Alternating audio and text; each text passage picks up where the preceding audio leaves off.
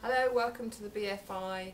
Um, this morning we're going to make some healthy living smoothies with Gloria Brown. Hello everyone, we're here to make smoothies and we have some fruit here.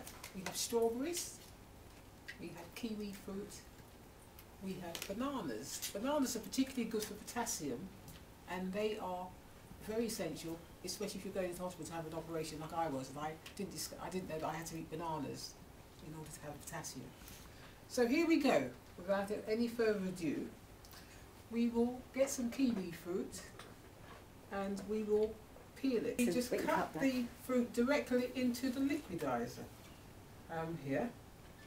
And um, I think a banana is very good here. Um, I like my bananas a bit riper, but this banana doesn't look too bad. And we just take the fruit, the skin off, peel it. In fact, so there was a story where people didn't know what a banana was, and they had it with the skin on years ago. So we just literally slice the banana, and I don't like to put too much fruit in. I don't like to complicate things, but I think the strawberries might help as well, because it's got a little bit of fibre there. Not fibrous, makes you go to another toilet. And that's very important, because a lot of people in England, they suffer with bowel cancer. So I'm giving you some fibre here. And then I get the orange juice here. There's an any juice will do, but the orange juice. And this is a particularly good brand, Rio del Douro and you pour it into the container. And so, if we need more, we can always add more, but let's just try it out. Um, and I like plain yogurt. This has actually got mixture of passion fruit and stuff like that, so I will use that. But generally, I would use a plain yogurt because it's actually less calories. And I'm a big girl, so I'm always conscious of adding unnecessary calories.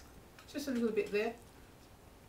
I would also put we don't have it today, but I would put a little bit of oatmeal in there, which will give it a nice sort of bulk. But here we go, we will press the blender for a few seconds. You can make it faster as well.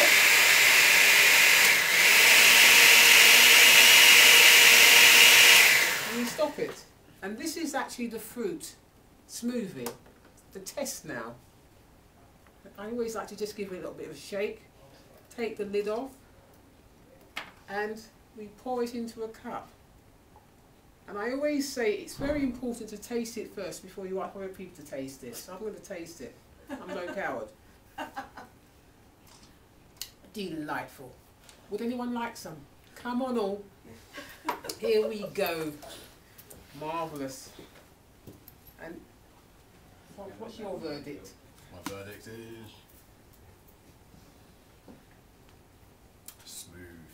It's very smooth, that's nice. There you go, smoothie for you and very cheap to make. Thank you very much.